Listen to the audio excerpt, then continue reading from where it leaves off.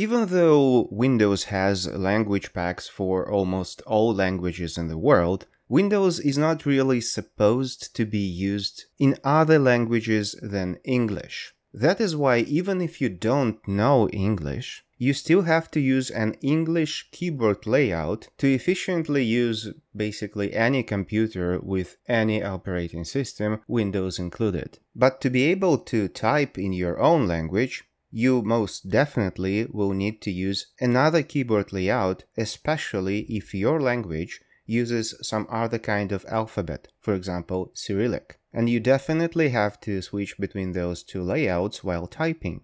You can do that with your mouse by clicking the little language icon next to the clock in Windows tray, but that's not exactly efficient because you have to move your hand from the keyboard to the mouse and back.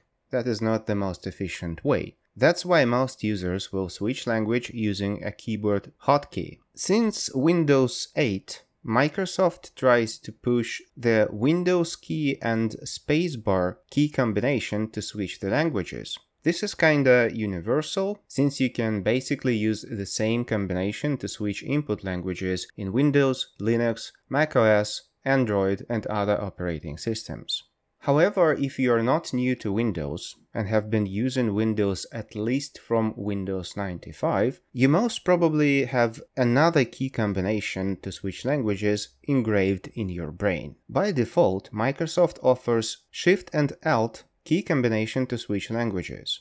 The problem with that one is that if for some reason you press Alt and then don't press Shift, for instance, if you failed to hit the right key, or maybe you changed your mind and decided not to switch the languages. So in any case, if you just press and release Alt, you will go to the upper menu of the interface, that is File, Edit, View and so on, and the keyboard will start to control the drop-down menus from there. This is very, very annoying. That's why most people will use Control key combination, so that is Control Shift, to switch between the languages. A bonus to that is, as those two keys are usually located together, you can press them both with one finger, which is not possible with Shift and Alt because they are kinda apart on the keyboard. However, later in uh, Windows 10 lifespan and in Windows 11 from the start, Microsoft introduced a very, very annoying language switch pop-up when you press Ctrl and Shift. This pop-up will not appear if you press and release both keys simultaneously or if you press Shift first and then press Ctrl. But if you do the opposite thing, first press Ctrl, then press Shift, release Shift, and then still hold Ctrl, this pop-up will appear. If you do that quick enough and often enough, there will be constant flickering in the right part of your screen, which is very distracting. This is especially annoying when you're typing some kind of texts where you have to use both your own language and enter some English terms. Or for example, when you are writing code in uh, English and then use your own language for the commentary. And in some cases, you can see the semi-transparent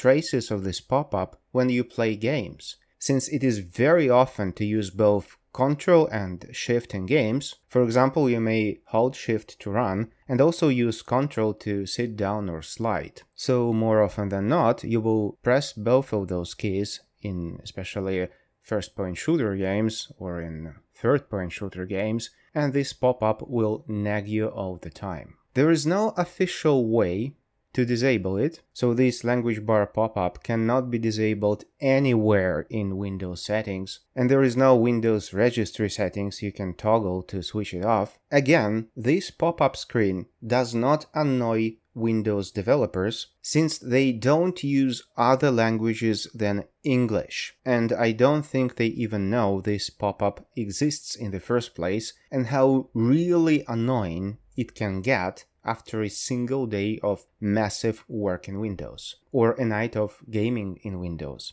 Sometimes I doubt that Windows developers even know other languages, alphabets, and keyboard layouts even exist. Basically, Windows doesn't care about other languages.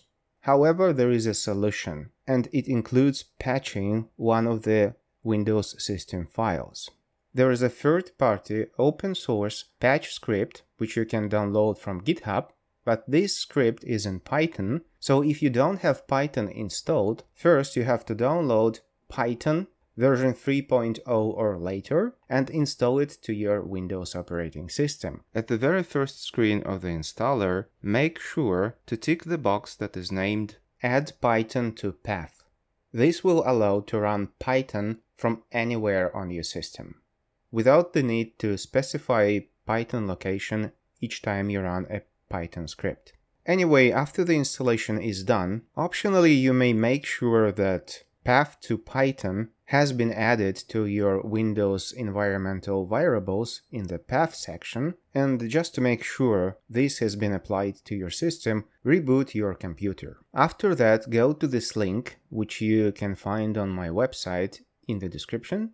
This is the Python script which will patch your Windows. Since this is GitHub, you have to click Code, then click Download Zip, then go inside this zip, copy the folder that's inside, and paste it to the root of your system drive, that is disk C.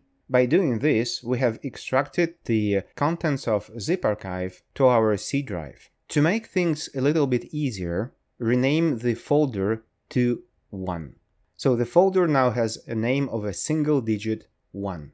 Now open command prompt with administrative privileges.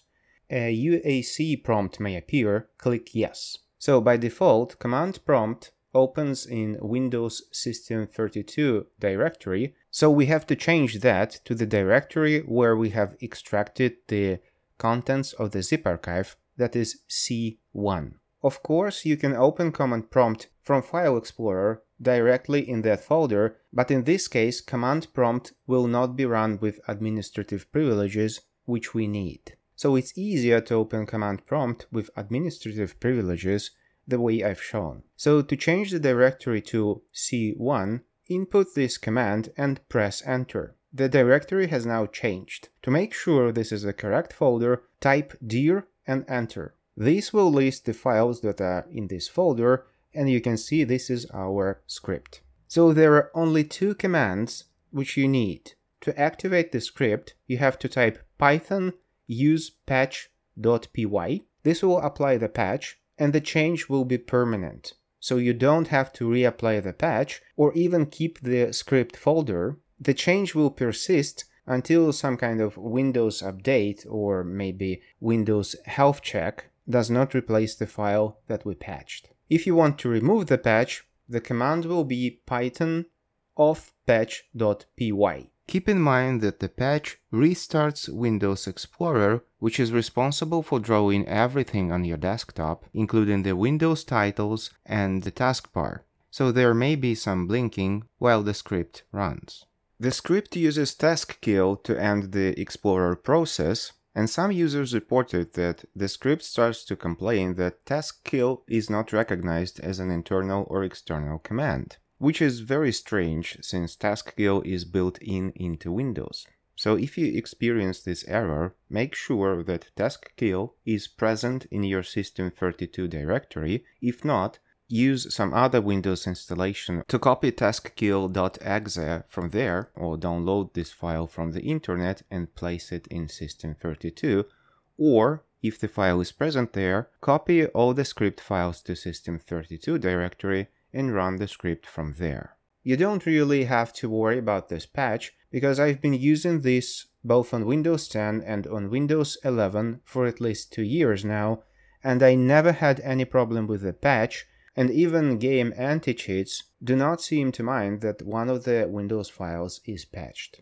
Anyway, after we apply the patch, you can clearly see that pressing any combination of Shift and Control in any order does not invoke this annoying pop-up. This method works both in Windows 10 and Windows 11 and provides an easier way to get rid of this pop-up without the need to adjust your typing habits by changing and getting used to some other key combination to switch between input languages in Windows. All the links mentioned could be found on my website in the description below.